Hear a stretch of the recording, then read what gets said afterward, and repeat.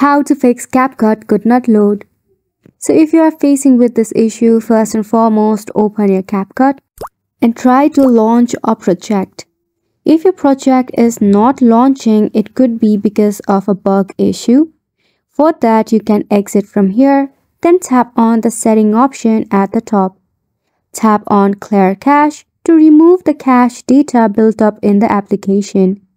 Once the cache is cleared, you can head back from here. Now, open your phone settings.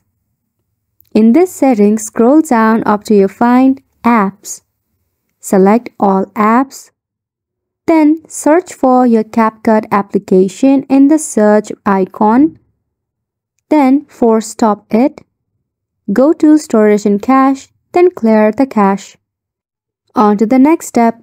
Go ahead and open your Play Store application.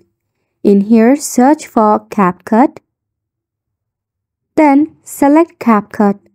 If there is an update, leave it for an update. If not, uninstall the application and reinstall it once again. Final process is to check for your phone version. For that, open your phone setting and select System Update.